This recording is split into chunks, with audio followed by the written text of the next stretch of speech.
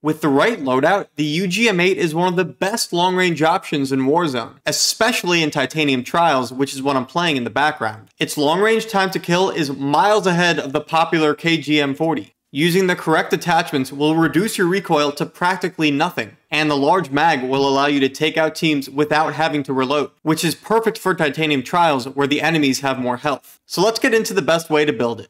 Make sure to stay until the end because after I finish with the attachments, there are a few things that you'll need to know before trying the loadout yourself. Let's start with the MX silencer, which needs no explanation. I'm using the Bernard XL 214 736mm barrel for the best recoil control and extra bullet velocity. PC players should use the 3 to 6x scope, while console players should use the G16 2.5x scope. Mercier WT anchor stock will help with both initial and sustained firing recoil and recoil while crouched or prone. While you're here, please hit the like and subscribe buttons as I'm a competitive Warzone player that's new to YouTube and I only make videos to help you improve at the game. The Strife angled underbarrel will help with our horizontal recoil control. The bipod is also a great underbarrel option as its crouch and prone recoil will stack with our stocks. Make sure to attach the 6.5mm Sakura 125 round box mag since it provides a large magazine with the addition of extra recoil control.